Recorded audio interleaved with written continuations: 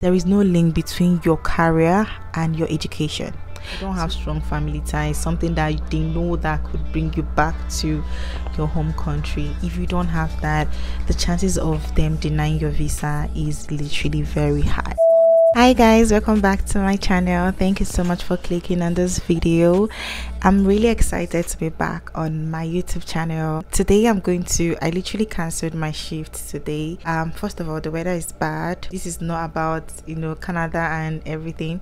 This is me. From the title of this video this is me telling you the reasons why you could have an you know refusal or denial from the IRCC. So I'll be getting a lot of mails or you know people trying to ask me on, on the reasons why they were denied. Um, I'm sorry if I'm holding this mic close to my mouth. That is because I really truly want you guys to hear me clearly, and I also don't want to disturb my flatmates because I have flatmates. Um, I hope this is convenient enough for everybody. so without further ado, we're going to jump right into today's oh hold on. If you've not yet subscribed to my channel please please subscribe to my channel. Like tell your friends tell everybody to subscribe to my channel because i literally i'm happy when i if i come on youtube and you know i see the growth. I'm going to put in the work i promise you guys. I know i always say i promise but this is real. Today i'm going to film like three to four videos and this is like one of the videos so if you're seeing this video um, this is like the one of the videos of other videos that will be coming up. So please subscribe to my channel. Um yeah without further ado we're going to jump right into today's video. Yes so welcome back to my channel. You know there are reasons why you could get rejected on um, coming to canada. Canada is a country where they literally look into you know things. They literally they how do I say this? So you cannot lie to any of these foreign countries, right? And Canada is one of those countries that they literally uh, sieve out. They literally sieve out, you know, things that don't sit well with them right? So we're going to jump right into one of those reasons why you could get denied or refused on your visa application. Now please the first point is something that you should really pay attention. So i have reasons why i said this. The first point is the long study gap. So you're coming in as a student right? And you have a long study gap. Okay so you know when you're applying for to come to canada as a student you need to put yourself as a consultant if you have a long study gap and you don't explain that gap they're not going to bring you in Mm -mm. because they'll in their head they'll be like okay so you have a long study gap for over 10 years and you just want to start up and just come to canada and school like they don't even want you to come to canada and school when you have long study gaps. So when you're applying for schools in canada and you want to come into canada as a student please explain your study gaps. You know there are reasons why you could have long study gaps. Maybe you you know got married and you start giving birth or you you know start to like change your career goals you you know you decided to go into business you there are literally reasons. Maybe you were not feeling so well or you went through oppression or literally anything like you had health issues. There are reasons why there could be a long study gap. So in that long study gap please explain you can't tell them that you graduated 2013 and then in 2023 you want to study in canada like literally 10 years like why? How? You understand? So if you don't explain your long study gaps that would be a problem in your application. Please when you're applying um, if you want me to make a video on you know how to write your sop your statement of purpose please let me know. I'll definitely you know guide everybody on that. But explaining your long study gap is really really important. Even if it's two years because i'm using 10 years doesn't mean that even if you have two years study gap that you should not explain it. Please explain every single thing.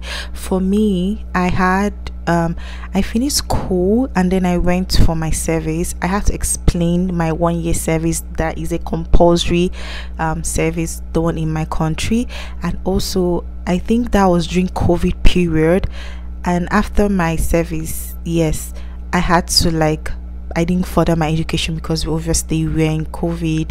Um, that also piled up to the reasons why I didn't apply on time. So there are literally reasons, you know. So it's just best for you to explain yourself and you'll be good, right?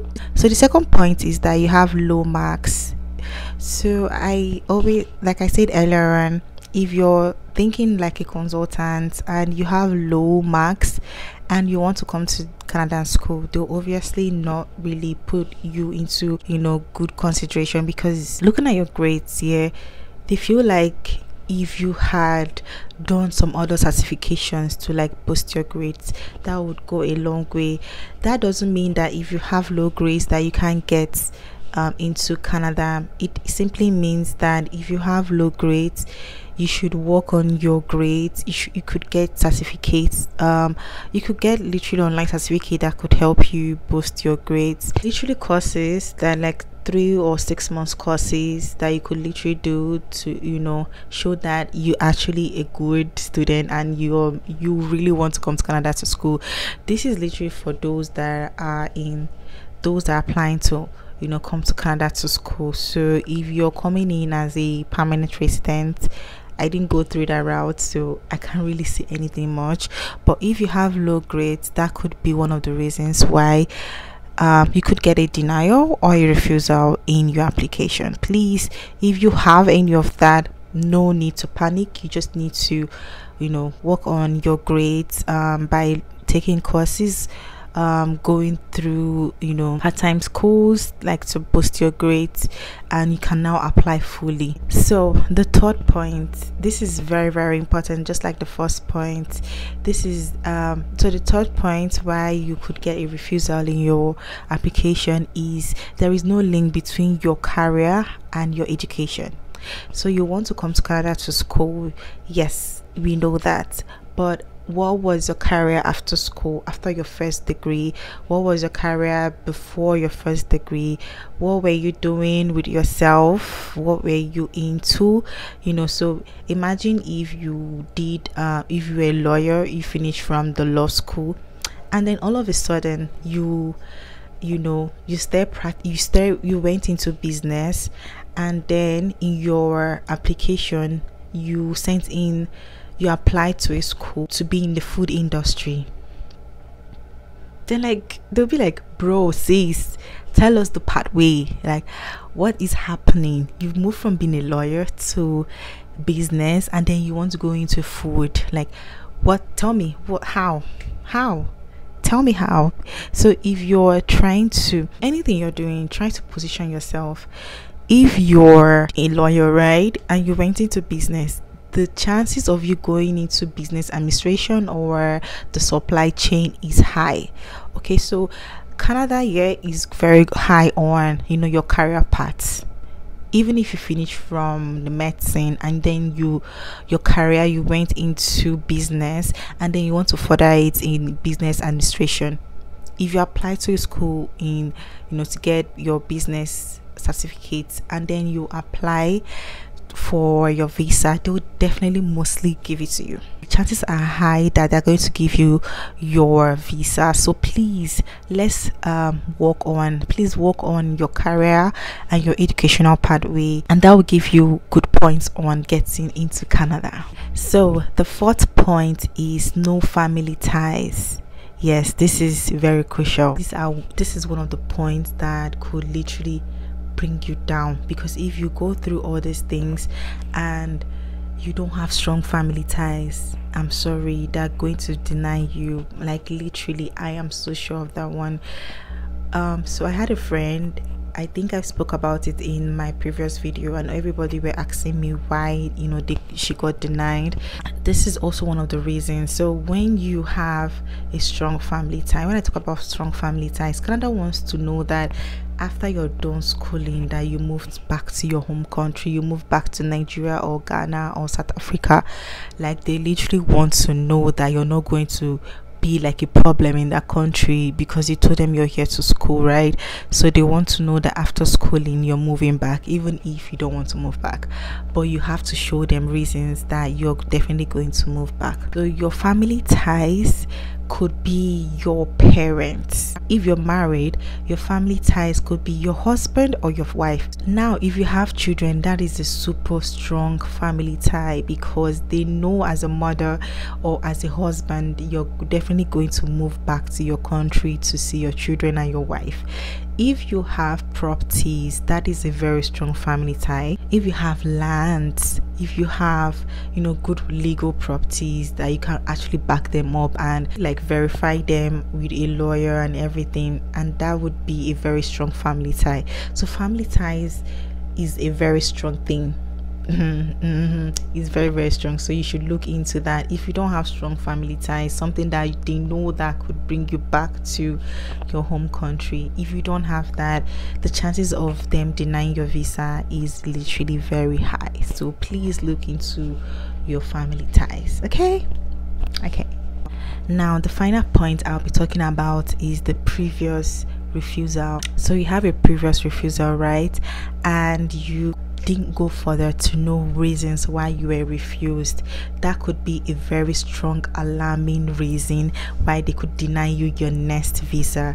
So if you were denied before in your application and you did not request for your GCMS notes GCMS note is a note that specifically tells you the reasons why your visa officer denied you your visa to come into Canada. Usually, when you get denied in um, in your visa application, they always give like a generic note on sorry you were denied in coming into Canada stuff like that. But if you go further to request for your GCMS note, that would go a long way in knowing the exact reasons why you were denied. So with the exact reasons why you were denied that would help you in tackling your further application so if you don't get your gcms note and you go ahead and, and apply for another um, and send in uh, your and your second application even when you don't know the reasons why you were denied that would also give you another denial. So please if you were denied in your previous application don't forget to order your gcms note. That would help you to know the exact reasons why you were denied in your previous application. If you want to know more on the gcms note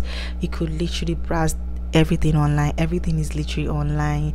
Browse everything online. You can get the steps on ordering your gcms notes for me if you get to also ask me on the steps to get your GCMS I'm definitely mostly going to browse online. So please do your due diligence and get the steps on ordering your GCMS note. So yes, I believe with these five points of mine, if you look into it, I believe that your next application will not be denied.